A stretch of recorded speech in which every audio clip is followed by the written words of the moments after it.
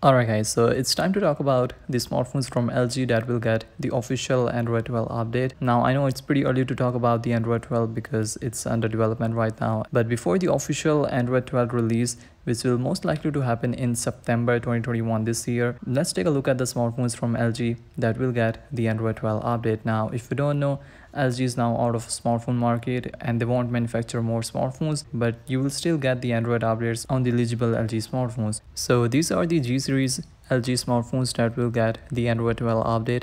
As you guys can see we have the LG G8 ThinQ, the LG G8 X ThinQ and the G8S ThinQ. So as for the release date, so Google will release the Android 12 in mid or in the last week of September just like they do every year. And after that LG will release their official roadmap of all of its smartphones that will get the Android 12 and that roadmap will also include the month in which your smartphone will get the Android 12 update.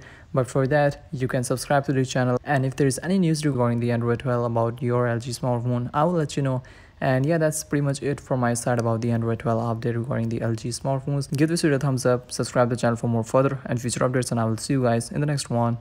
Peace out